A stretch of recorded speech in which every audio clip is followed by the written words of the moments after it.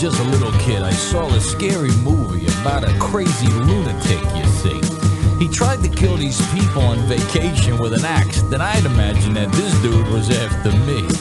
Well, laying in my bed that night, afraid and wide awake, I promise you I saw a shadow move. But when I felt an evil spirit, that was it. I knew right then exactly what to do. I took authority in Christ.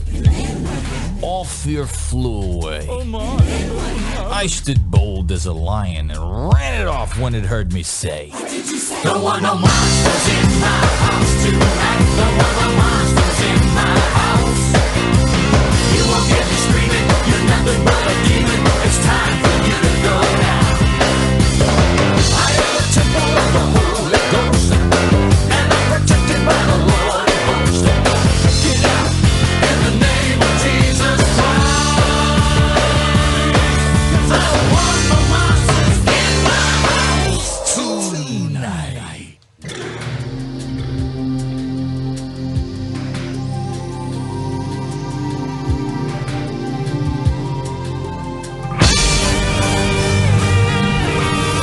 TV, there's this creepy guy, the alligator man. I watch him as he chases and he hunts this peaceful family through the woods with only one thing on his mind. He wants to eat their little kid for lunch.